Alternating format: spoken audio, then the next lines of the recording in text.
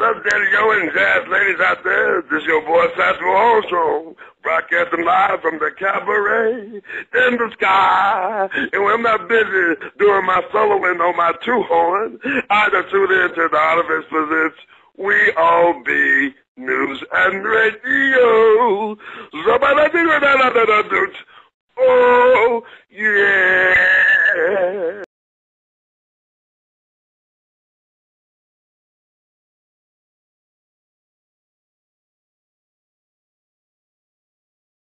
I'm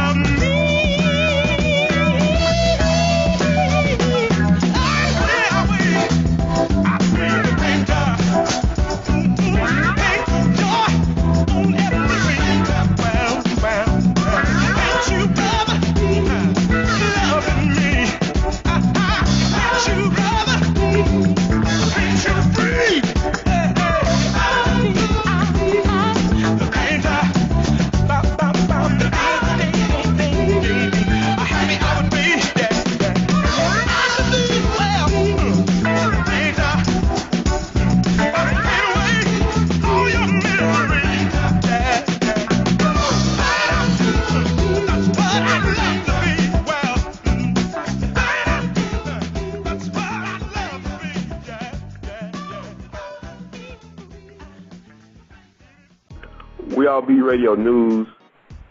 Welcome the one and only, one of the greatest portrait painters on the contemporary scene today, the first African American to be given the job of painting the Commander in Chief, President Clinton, the first African American to paint a portrait of a president, uh, one of the leading lights and a legendary figure in his own time, the great Simmie Knox. We welcome you to We All Be Radio. How you doing today, sir? Doing fine, thank you. Thank you for Thank having you. me. Oh, thank you for being here. It's, it's very much an honor and a privilege. And I like to get into first and foremost. I'm, I'm an artist myself, a visual artist, and I was reading. I remember coming across your name several years ago, an American Legacy article about you and, and your career and about you painting President Clinton's portrait. And I learned that you started out as a uh, as an uh, abstract artist, correct? well, I didn't really start as an abstract artist. I, I I got into abstract because when I was in graduate school, the abstract painters had made such an impact, and most art schools have uh, kind of art and kind of faculty that they'd like to have on board, and so usually they sometimes are influenced by what's going on. And so at the time, most of my instructors were abstract painters. And so I began to dabble into it because when I used to bring a figure, a portrait into class, they would just kind of laugh at that. Say, you know, the figure is not the thing to go with now. So I had to sort of get with the program. Excuse me. And I got involved with abstract painting, and it was one of the best things ever happened to me. Now, who were some of your earlier uh, influences? I know you said your professors were one. Who? You, uh, who were some of your earliest influences on your art? Well, you got to remember now, I was born, you're, you're in Atlanta, right? I'm in Memphis, sir. You're in Memphis, or I thought Yes, you were in Atlanta. Uh, well, I grew up there in Alabama, and you got to remember now that when uh, I I uh, grew up in, uh, I graduated from 1956, and so um, at that time uh, we didn't have any examples of any African Americans really that I was aware of. There were some, of course, that were doing some fantastic things, but there were none that I was aware of who had done any outstanding things in the visual arts. and so I was more influenced by just being able to draw comic characters and being able to draw than anything else uh, because um, uh, as little kids we were always fascinated with these comic book characters and so it just started as that little thing that we as kids would do uh, in the fourth grade uh, when I was in Catholic school. The nuns would notice that every morning we would gather in the back of the room and we would be giggling and carrying on as kids would do. But what we were doing was showing the pictures and the drawings that we had made from comic uh, book characters and see who could do the funniest one, the most dynamic one. And so they noticed that activity. And of course, the nuns tapped into that and assigned each of us uh, that they thought had promise uh, artistic um, uh, responsibilities as uh, decorating the blackboard and decorating the uh, windows and doing seasonal things. And so it just really started from that. That's cool. I mean, like in Alabama, growing up, I'm, I'm assuming that you know, I, I guess black folks couldn't go to museums, correct? Or weren't allowed to go. to the museum. I never went to a museum until, heck, I was about 26, 27 years old. Wow. Uh, because, uh, uh, you know, down there, there were museums that we didn't go. We couldn't, there were just certain things that we could not do uh, in the South as African Americans. And so I didn't have any influences down there at that time. Of course, as I began to, to do more and, and as I began to uh, uh, get more involved with it, there were some. But uh, at that time, I didn't have any. Now, what was the moment? I know you said you were drawing comic books as you were growing up. What was the moment you know this was going to be something that you're going to be doing for the rest of your life?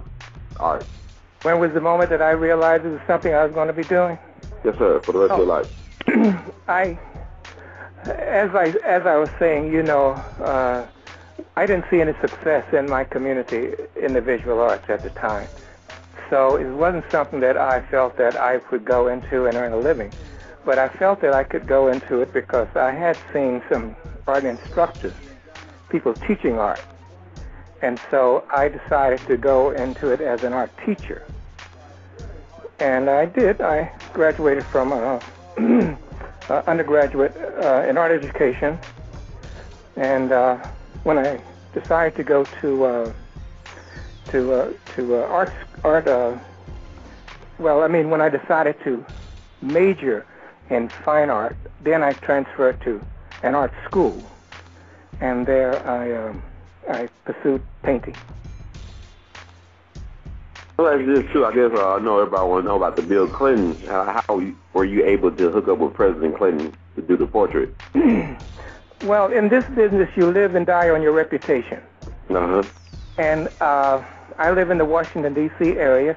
Just so happen I happen to be here, which has been uh, sort of the way my life has played out. I've always seemed to be uh, what I didn't think was the right place to be, but it, it turned out to be the right place. And things have happened to me that I didn't think at the time was the right thing to happen. I just said, oh, God, what is this? But then I, I found out later, usually, that it was the right thing. It was the right thing. And now, I guess, as I have gotten older, I believe that things happen for a reason. And I happened to be in this area because when I was in the military, I got out in 59, my parents moved from Alabama to Delaware. And that's where I spent a lot of my time. And eventually, after going to graduate school, I eventually gravitated to Washington, D.C.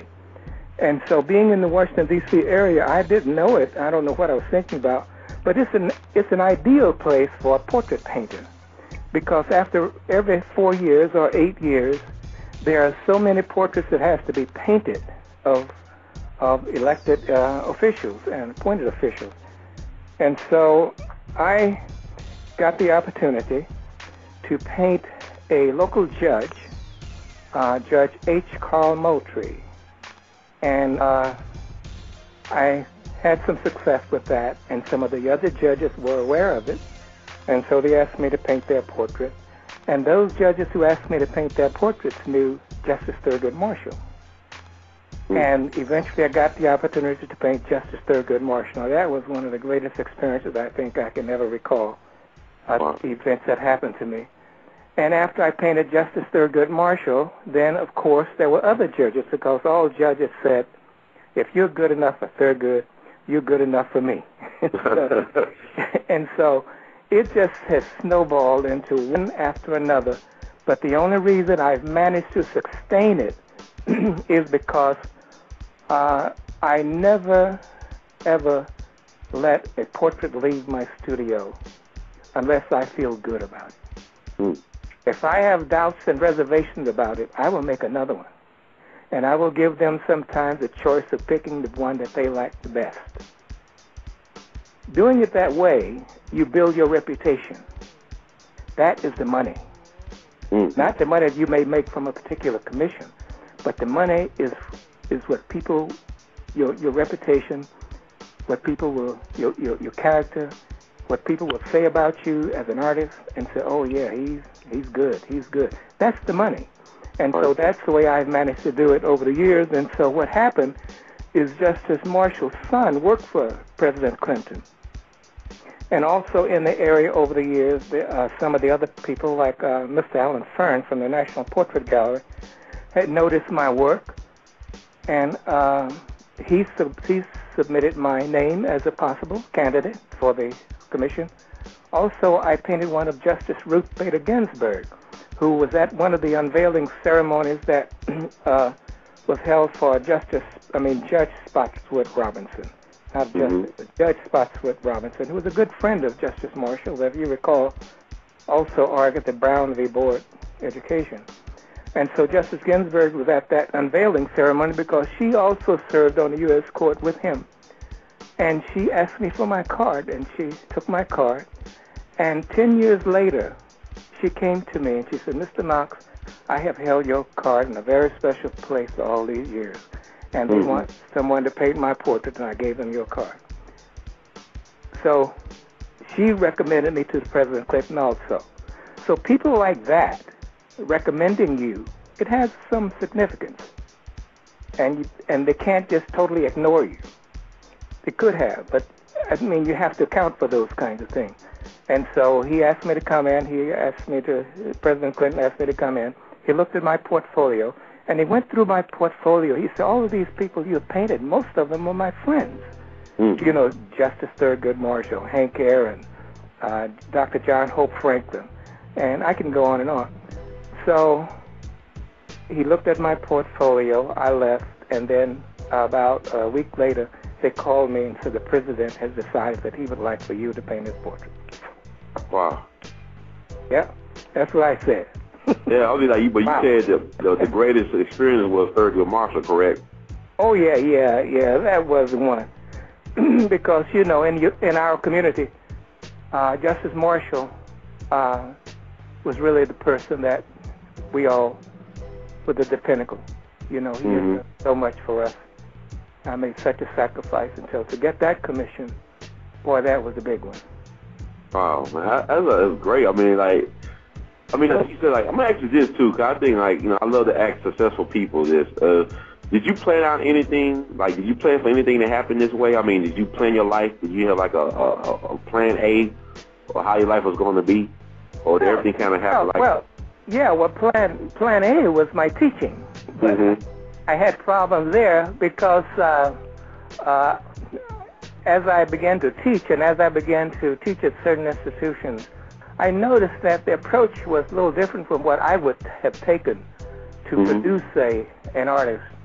Uh, I find a laissez-faire kind of approach that you get in there and you can pretty much do what you want uh, as long as you just paint. Well, I don't like that approach, and I never did uh, like that approach. I think it's the wrong approach to take. I think you go in with a plan for your students. You go in with a lesson plan. You go in with a unit plan.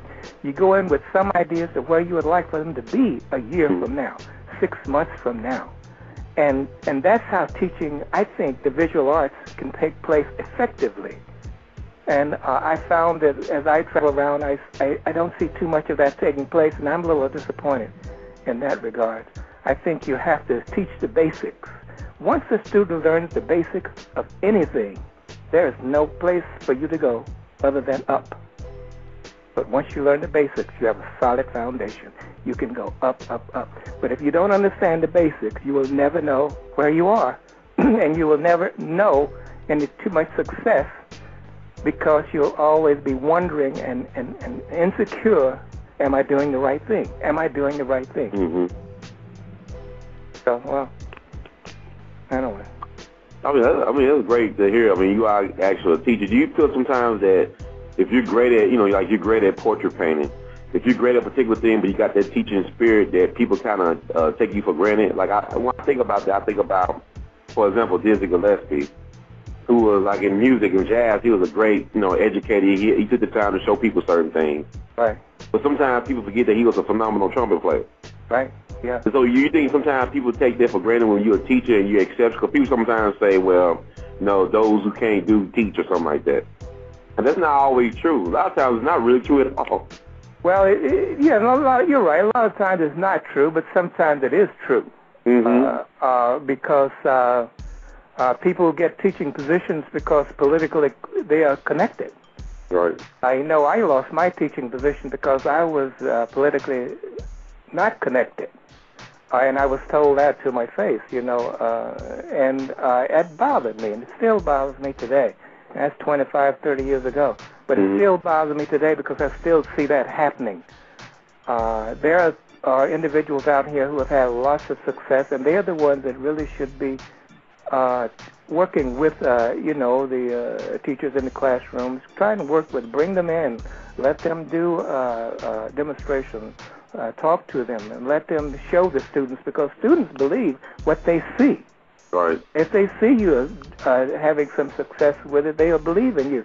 But you can be a teacher, and if they don't see you having any success with it, you know, the first thing, well, how do you think uh, I'm going to be able to succeed if you're not having any success with it? Right. So I'd like to see more collaboration, you know, going on in classrooms because uh, uh, we don't have enough of that, I believe now. And and a, and a classic example of that is what happened recently with the big commission to to do the to the uh, memorial to Dr. Right. Martin Luther King. Mm-hmm. Why did why did we have to go to China? Yeah. Why did we have to go to China? mm-hmm. That speaks volumes as to what's going on with us in our institutions. You see? That's a, Yeah, we can produce stone cutters. We can produce sculptors. You see, why were we overlooked? Because we have not given the, the, the community the belief and the perception that we are capable. No other Uh, reason than that. That is definitely true. And speaking of that, also, is it like I know? I mean, like it's funny that you said about you didn't have the political connections. They can only see you now. You know, I mean, the, Oh, the circles that you run in. Yeah, yeah. Well, they want me to come back now. You know. oh, you don't. You don't. Oh, yeah. You know. I mean, that's that's one thing about having success. Everybody loves a winner. Right. Everybody loves a person to succeed, and I can understand why. You know, and that has nothing to do with uh, boosting, you know, your ego. It has a lot to do with your commitment. You see, and and, Mhm. and working with a purpose, and uh, every day getting up out of your bed and and, and and and doing that, staying on task. That's how you succeed. You you you will not succeed if you can't uh, work with a purpose. And uh, I I just wish I would see more more of that taking place but I don't see a lot of it, and so I'm kind of disappointed in some ways in what's happening in some of our institutions now. Let me ask you this: You think a lot helps? I mean, you just going from a place growing up in Alabama where black folks could not go to museums, Right. and the success you would have as a as a as a portrait artist, not just as a black portrait artist, but as one of the top portrait artists or portrait painters in the world. Yeah. How do you feel about the art world? Is it still receptive to black uh, artists, or you think we still got a long way to go in terms of black art? Or No, well, you see, the same things that we experience generally in the society, it's, it, it's, it's in the art world. Mhm. Oh, yeah, it's in the art world. But, you know, I, I often uh, would like for us to, to remember, you know, art, artists and being artists, being artisans is in our DNA. sorry, historically speaking, it's in your DNA. Uh, uh, it's little is known about the uh, contributions of, of African Americans to the arts. You know, we came to the country, and people think that we came here uh, just blank, uh, not knowing nothing. But that wasn't the case.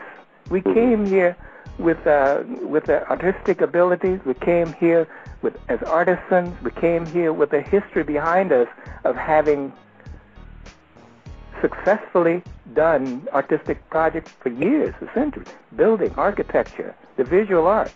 You see, uh, little is known about the uh, the the artist. We we we hear about Gilbert Stuart, the greatness of this Gilbert Stuart. He was a fantastic artist. Mhm. But the guy who really demonstrated to him how to paint and how I mean how to draw faces was an African slave by the name of Neptune Thurston. Wow. See? But Gilbert Stuart was one of the great American portrait painters. But the guy who really demonstrated to him was a, an artist by the name of Neptune Thurston, Rhode Island. Well, that, that sounds familiar. But I think about Thomas Edison. I mean, he had a lot of African American inventors like uh, Lewis Latimer and Granville P. Wood Yeah. uh, working for him, but they get the credit. Why you just think that people are more comfortable with, you know? I mean, even think about the country. I mean, you had five thousand African Americans or uh, you know black people fighting with George Washington, Mhm. and we fought in every major conflict. But it's like every generation, you got to prove yourself that you are American. Yeah, well, you have to prove yourself. Oh, yeah, you have to do that constantly. And uh, I understand that. And uh, that's part of the thing that drives me. You know, you got to prove it. I mean, they're not going to give you the benefit of the doubt. Nobody's going to give you the benefit of the doubt. And so uh, you know that every day. And so every day I, I get up with this renewed uh, uh, will and uh, purpose to, to, to prove it. And you have to. Now, do you mix your your, your politics and art, you, or you try to have a way of separating? How you No, I'm a about that? businessman. I'm in business. I heard that. You know what I mean? You know what I mean? I'm in business. I paint Republicans. I paint Democrats. yeah, I was making sure. Even though I, Uh huh. I haven't gotten anything out of this administration, though, this Republican. well, we are in a recession, quote unquote. So maybe things will look up in the next four years. Imagine this about the prospect. I mean, I know Barack, he won in South Carolina, but like the prospect, if you actually might have a chance of painting either the first woman president or the first black president in history, how, how does it make you feel to be living at this point? You know, I know it was one point where people couldn't believe this could be possible. yeah. Well, you know, I'm just delighted that this is happening in my lifetime, and whether I get the opportunity to paint his portrait or the First Lady's portrait, you know, well, many said I've done that because I also painted uh, Senator Hillary Clinton's portrait when she was Wow. the First Lady. I painted that. But whether I get to paint that portrait or not, you know, I'm just so delighted and, and proud that in my lifetime, this African American man has done a lot for our image as African American men. Mm-hmm. That makes me feel good. Whether I get this commission or not, I hope he does better than he is he's doing. I, he's done wonderfully now. I think people uh, are excited about him, and it just seems to be snowballing. And I hope he continues to to, to, to do well. I think it's like getting back to like the art of business. Like, do you feel that uh, African American artists are still behind when it comes to the business side of art? You know, I know Andy Warhol said that the art of business is, is the most fascinating art to him. Who said that? Uh, Andy Warhol, I'm paraphrasing, and he said like the art of business is the most fascinating art. in his opinion? Well, you know, I- mean, considering all that we've had to deal with, you know, all of the conditioning that we've had to experience and go through and try and undo all the years, of course, we seem to be a little behind the curve in that, um, in that regard, uh, seeing it as a business because uh, we don't see too many having success with it. You know, I, I am, I may be an exception at this time, but there are others who have had a tremendous amount of success with it. And um, I think we will continue to do well. And I think we understand the situation and we will continue to struggle to overcome obstacles. And I think we will continue to do well and succeed in the individual arts. And that's, but you think that I don't want to say strength in numbers. I keep on looking at the history. Like I look at the abstract expressionists, and they, you know, they're rascals. They wrote out, you know, Norman Lewis. They wrote him out of history, basically. I mean, he's, you know, we know who Norman, Norman Lewis? is. Yes, sir. Well, he was part Yeah, of the group. yeah, Yeah, yeah. he's not, you know, Yeah, part yeah. of the group.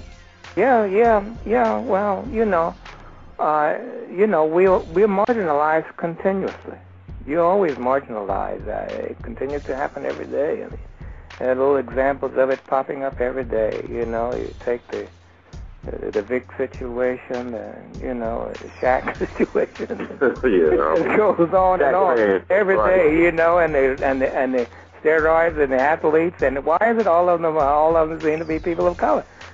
You know, and so you know it's going to continue to be that way for a while. But I think this election is is is saying something to the general uh, public uh, that there's another generation out there that don't share those views, and and and and and I think they will make a difference. Not only that, how would you like to be remembered? Well, just as a good father, Hmm. good dad, and and you know a person who tried to do his best with what he had to work with. And I'm still struggling with a you know a, a number of things uh, with the craft, trying to to make it better and improve upon it. But uh, you know I'm delighted that I have been honored and had the opportunity to paint portraits of, of some of America's finest. And I say all of the time to people, I am successful because there are those who have gone before me who have been successful. Because people who get portraits painted are people who have made major contributions. Hmm. 90%, 90% of my portrait commissions are African Americans. That says a lot. Wow, ninety percent. Oh yeah, you know a lot of people. You know how they think about it. We too cheap to, to tip sometimes. Oh That's no, the perception. no, no, no, no, no, no, no. Ninety percent of my my my portraits are African Americans. My portrait commissions are African Americans. Now that that's a whole other discussion can go on there. Yes, sir. I mean, it's amazing though. It's the perception though that we're not into art, but yet the fact that you got ninety percent Oh yeah, I of your get clients. yeah they I get lots of African Americans uh, to uh, you know uh, commissions from African Americans. I get a lot. You know, I get some whites too, white white Americans. Uh, I get Asian Americans. You know, I get some of those, but most of them are, are African Americans, and uh, you know, uh, uh, that's a, a whole uh, another discussion as to why that is the case. You feel like it's a like as an artist, is success also besides your your reputation? This is all about location as well. Yeah, location helps because Mhm. it's good, but if you're in the right place, because if you're close, uh, then you can go back and forth with your client, go and see your client. And uh, Washington is a good location. Washington D.C. is a good location, even though I have clients all over, all over the country, in the world. I think from some some, some people in France and, and places like that. But most of my uh, clients are in the United States, and um, you know what the means today. You can move I can go to California in the morning and get back late at night and um, uh, work with my clients. What was the most difficult commission for you to do? Well, they all have their challenges because they're all different, and that's the thing that I love about what I do. Uh, you know, uh, say if he, he is in our image, image of of the Creator is our image, then I see a different face of him every day. Right. And uh, that's what I like about it. Every face is different. They're all different. And you can see all of the things in the human face. You see the pain, you see the love, you see the joy, you see the sorrow. You can see it all in the human face. And I just love faces. And uh, when I was growing up down south, I think it has a lot to do with it. Uh, what I do also, and the way I can I, I can read a face. You had to know when you were walking down the street whether that guy was or that person was a friend or a foe. I heard that. I heard that. When. I graduated from high school, uh, when I was in the 10th, 11th grade, is is when Emmett Till was killed down there. Hmm. And um, you had to know because that was the kind of atmosphere we grew up in. You had to know whether a person was a friend or a foe. And a lot of that now, I see people, I, I can kind of see the configuration of their face, and and if they begin to talk or begin to move, then I get a little more information. Oh, wow. Oh yeah, you had to do that. Yeah. So you you actually were able to size a person up without them saying a word. Pretty much. If they if they just stand there and don't say it, don't well if they just stand there and don't say a word, it's a challenge. Okay. Uh-huh. It's a challenge because your history is on your face. Right. The lines in your face are your history. Whether you scowled a lot, it's in your face. You see, whether you smiled or not, or you're a pleasant person, it's in your face. You see, Uh-huh. because those lines will begin to take place over a period of time, and it's all in your face. But when they begin to talk, and when they begin to move, and when they begin to engage with them, you can pretty much uh, get some impression, you know, uh, about the person. You can get some idea what kind of person they are. I can. I like this too. I think it's so important as African Americans that we document, or just people in general, that people, you know, find a way to document their history. But evidently, you have found a great way, a brilliant way, as far as like being a portrait painter. That's your legacy. That's a great legacy to leave, especially some of the things you have done with your talent. Yeah. But are you, are you, have you been writing your memoirs? Or have you wrote anything about your life? Or are you planning to do anything? Well, yeah, I plan on doing that, but I haven't uh, taken the time out now to to to write too much about uh, me. Others have, others have written written some things, but I'm I'm planning on doing that. But uh, I just am so delighted and happy to get up in the morning and get to the next project. I'm getting ready to to start a a new adventure into sculpture again. I'm doing a 10 foot uh, uh, scale uh, size sculpture of. Uh, uh, the first African American mayor of Baltimore.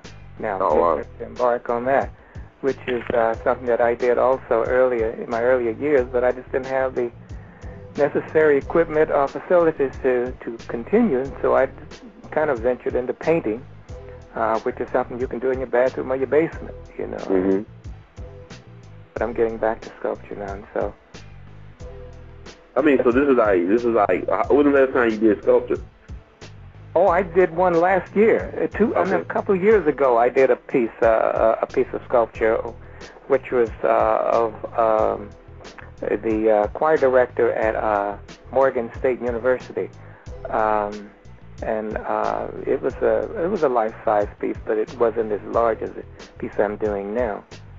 Uh, but um, sculpture is, is, is my was my first love. Yeah, I, you know, it'd be, it's like, what's the material that you normally use for your sculptures?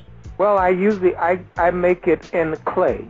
I use the uh, plastilina, which is an oil-based clay that never dries, and uh, you build an armature and you you fill the armature in, and then I don't want to get into the details of it, but you make it in this this uh, clay first, and then they take it to a foundry, and then they do a mold, a rubber mold of, of it, and then they eventually will do it in bronze. So the final piece will eventually be uh, in bronze.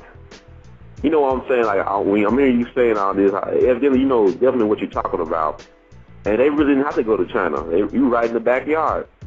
Well, you know, they wanted a stone. They wanted they wanted a stone cutter. You see, Oh, okay. person to person to work in stone.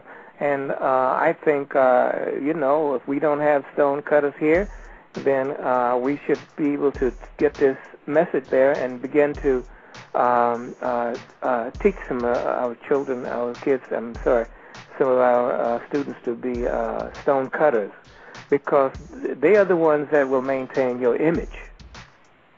They're the ones Mhm. that maintain your image. We don't have to go to China. We can teach it right here. You got colleges all over the uh, country uh, who could teach uh, kids uh, how to be stone cutters. And I don't think they have to go to China anyway. You got some of the best stone cutters in, in Africa. Sorry. Some of the best in the world are in Africa right now. No, I was thinking when you just saying all this, like I know when they, I was looking at a documentary about the restoration of the Statue of Liberty. I mean, it was built by the French, but you know what they done? Well, they took some Americans and you know they, they uh, introduced them some of the French experts on that certain style of of making a sculpture. And they end up imparting the knowledge, like you said. Why not have workshop where you bring people out, quote unquote experts, to show the next generation hmm how to do these things? yeah, yeah, yeah. Well, institutions, you know, like Morehouse College, institutions like Clark, uh, Spelman, uh, Howard, you know, they could provide a, a facility where they could teach people how to do those things. You see, because I don't think it's that we don't have students who are interested. Students usually gather an interest in something when they see it happening, or when they become fascinated with it and see that it can be done. Then, uh, but we obviously have not done that, and that troubles me. Why don't we have uh, uh, foundries in our institution where we can teach uh, our students how to do uh, sculpture and teach them how to do stone cutting, teach them how to paint portraits, you know, and the like. I don't see too much of that taking place. Most of the instructors now uh, seem to be uh, abstract painters, and they're teaching kids how to do that. No, it's just too. I think, like you said, like uh, speaking of young people, like you said, uh, seeing success, and you know, I guess we live in such a media-driven society. Uh, things short attention span and whatnot. But I was talking to um, one of your good friends, uh, brother Morris Howard, Mm. and uh, I know he's a you know great portrait painter himself. I was Who is asking this him, Who is this uh, now? Morris Morris Howard. Oh yeah, oh yeah, oh yeah, oh yeah. And I know like he was talking about the you know like how you know the portrait painters sometimes take it for granted. I was asking him, is there a, is there uh, a black portrait society uh, Oh. in America? Is there an organization? He said there's no organization like that. No, no, we don't have one. It's sad to say, we don't have one. Uh, a, a Black Portrait Painter Society. Uh, it would be good to have. What's the problem then? Like, is it egos? I mean, I know everybody got egos as artists anyway. What is the problem? You need a li- you need a little of that to kind of you know sustain right. yourself. But uh, you you have to be able to um, uh, put that in its proper place. But uh, we don't have anything like that. No, we don't have any any any portrait society, black portrait society. In fact, we don't have t- a lot of African Americans who specialize in the art of portraiture. I think if you do a search and you see how many you can find, Yes, sir. may be surprised. Yeah. Oh yeah, Morris is uh is is uh is- is one of the uh, artists that I usually keep in touch with. I do a lot of mentoring and tutoring online to a lot of artists across the country. You know, offering them uh, uh, information and offering off, offering to them um, the idea that you build from the ground up and, and go back and, and maybe you have to start all over again and get the foundation and build on that because once you get the foundation of it, you can not do anything but succeed. I mean, I mean, just good words of advice. And what would you tell young people starting out? What Might I not get them? the support right here. If they might not have the uh, supportive environment. If they say I want to be an artist, and people say, "Oh man, that you know." A, a, a big part of it, of course, is developing technical skill. And Mhm. technical skill is nothing more than doing it over and over and over and over and over. You see, you get my get my drift. But then again, coupled with that is reading. Mhm. reading, getting the information, and painting with a purpose. Don't just paint to paint.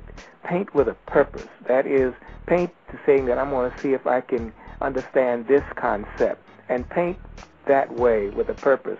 And then after a while, it will all come together for you. And uh, when that begins to happen, you will see your work begins to improve. And the difference between an amateur and a professional is a pro usually knows the technical skill, and he has, I mean, he has the technical skill, and he knows the information. Because the only reason that we have art in a classroom is because all of those involved said these are things that every artist should know. Mhm. See, the principles of composition, the elements of design, things like texture, line, value, shape, color, you see.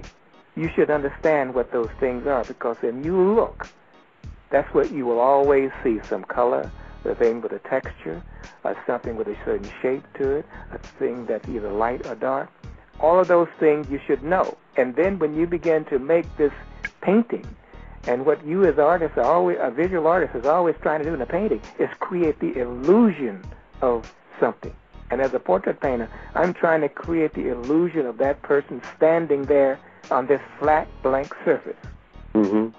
And so my ability to do that is my ability to understand the craft, to understand the, the, the elements of this, like color, how to use color, see, how to use certain shapes. And when I understand that, then I can create uh, uh, convincingly that illusion of that person standing in front of me. Now, the way you get the portraiture part is you have to have technical skill. And that is nothing more than practicing and doing it over and over and over, learning to draw. That's actually just uh, you doing some things that can't be taught. Like you got to have certain things to be a successful artist, or everything can be learned. I'm sorry, say that again now. Are there some things that can't be taught, or can you learn just about everything in order to be a successful artist? Well, the only thing that I think can't be taught is your drive, your will, hmm your determination to succeed. You can't nobody teach you how to do that. Right. That is what is people sometimes call talent. No, it's just 90% perspiration. hmm You have to just have the will to succeed and to get up every day with that determination to succeed. I'm going to do this. Anything that I see that another human has done, I believe I can do it. Like this, do you a? Go ahead. I'm sorry. Another human has done it, I can do it. That's right. I believe it's it, it is so important. Confidence, like you said, having the drive. Yep. And I, I like to ask you too. So, like, by you doing the things that you are doing and having the type of drive that is that is exceptional, do you have any professional regrets at all? Well, I don't have any regrets in what I have done. I regret that I wasn't able to do it earlier Mm-hmm. and to have access to it earlier. But then again, we know why that's so. Um, and that's the only regret that I have. That uh, I, I didn't get the the instruction, or I didn't have access to the institutions and the places that that I knew had the information that I was been able to attend. That's that's one of the regrets. But personally, I have no regret. I managed to to do what I have done. I'm I'm very pleased with what I've managed to do. And rightfully so, man. I think it's very much an honor and privilege for me to be talking to you right now. I mean, uh, like it is so. It's sad sometimes that our young people don't know about people like you before it's too late. I mean, like the fact that you know, I just said, get your flowers while you living. Get your flowers while you living. Well, and I it, yeah, sir. I'm, I'm sorry. Go ahead. I, it seems like sometimes, like you know, we always a step behind. And I was just talking to some friends of mine yesterday uh, about Dr. King and some other things we read. Uh, why, why we can't wait by him. And it's like we've still been waiting for forty some years.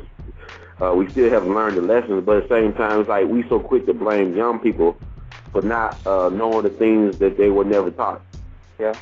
You know, and um, I think it's really up to us as individuals to do as much as we can, whatever we have. It's like God has really blessed you abundantly with your talent, and that you're doing the things that uh, talented people should always do, which is your talent is never for you; it's for the rest of the world to enjoy and be inspired by. That's right. Show them the way. Yes, sir. I, I the appreciate way you so by much. doing it. Yeah, thank you. And I'm, and and when my teaching career ended, you know, in the classroom, you Mhm. know, it just uh, was another opportunity for me to show the way, and that's that's what I I tried to do because once they see it can be done, and there are those who are having some success with it, then I think I hope that it will encourage others. Oh, you encourage me, trust me. Well, thank you. Yeah, and also I don't, I don't think it's like you waited too late. I keep on thinking about you know the people that that do peak. Uh, like this actor, uh, Heath Ledger, that passed away tragically, tragically earlier in the week. So I think about Charlie Parker. I think about Jimi Hendrix. For every Charlie Parker or Jimi Hendrix, there had to be a, a Duke Ellington. You know, there had to be a Dizzy Gillespie. There had to be somebody else that's to do the long haul. Like I look at some people being like the, uh, um, I guess the message. And then you need the messengers. hmm You know, I look at Bird, he was the message. Know, I look at Dizzy being the messenger. Like he had to Yeah, plant the seeds. Like I look at Jesus being the message, or I look at Apostle Paul being the messenger and the disciples. He had to, you know, spread the seeds out. hmm And I, I think everybody plays a part, and it's good to know. I, I keep on thinking that uh, a lot of people go to their graves not doing what they were supposed to do in this life. Yeah, yeah, yeah. That's really a shame. Yeah, yeah, it happened uh, because uh, it takes you some time, some time to find uh, uh, who you are and, and, and what it is you uh, uh, put here to do. And I think we all have a purpose here. And uh, some of them find it early, and they come and they do it, and they get out of here early, like the Parkers and the Coltrane, and um, you know the Errol Garners and and Mhm. and, and, art, and people like that. They they do it and they they move on and uh, some of us struggle forever. And I think a, a lot of that, though, is because when we see it, sometimes we don't want to, to, to, the challenge is more than we think we can handle. But once you realize that life is difficult, then it gets easy. Yes, sir. Let me ask you this, uh, before I let you go. I know I just appreciate you being on here with us for this period of time. What was the most uh, tragic? I mean, like the most talented artist you met that, like, you felt like the talent was tragically wasted? Talent with tragedy. Yeah, Oh, I, oh, oh, oh! I think, of course, Charlie Parker is, is is the guy, you know, and and Billie Holiday, you know, and there are many others like that. Jimi Hendrix, just as you mentioned, you know. Uh, What about you personally? You know anybody personally you thought, man, that could have could have did or she could have did more? well, you know, I could have, but I don't waste much time thinking about that. You know, I just try and say, well, what can I do today? Right. And uh, I think that's the way you have to look at this thing. Every day is a gift. If you get up and you stretch, I stretch, and everything works, oh, this is my day. And I try and do a little every day because it's it's cumulative. Uh, your daily activities add up. It adds up. And so every day I try to do something to bring me closer to my goal and uh, to bring me closer to completing a, uh, a painting and you have to do a stroke, little strokes. You know, they say feel great oaks. It really, and it's it's not always the size of your hammer or the size Right. of the rock, but what is critical is you're consistently hitting that rock, and eventually a piece will fall off. yes, sir. So you have to be consistent. Ask like, since you like got such a great work ethic, you sometimes ask yourself, you like you're a man of great faith and of wisdom. Like, why you? Why was you one that was chosen to walk this path to receive these accolades to get these opportunities? No, I don't. I don't think about that. I'm just thankful and grateful that I I have these opportunities. No, I don't. I don't spend much time uh, questioning questioning that uh, force, uh, that uh, uh, because uh, I'm just so delighted that I can I can do it. Yes, sir. And also, before we let you go, I definitely want to have you on sometime in the very near future. I just really enjoyed talking to you. Uh, you have any last words for our listeners? No, no. I uh, only that you know is believe in yourself, and and uh, if you truly believe in yourself, then uh, you walk in faith, uh, not in fear, because God and fear cannot occupy the same space. So walk in faith. If you want to do something, just believe that I can do it. And once you make that statement, and it resonates within your body, you have won the battle. Brother Knox, we thank you so much for your time and wisdom and insight. I mean, you're you truly a national treasure in so many ways, and uh, I look forward to keeping in touch with you and getting the updates. And like Duke Ellington used to say, we love you madly. Well, thank you very much, and same here. Yes, Thank sir. you for Thank having me. No Okay. problem. Okay. All right.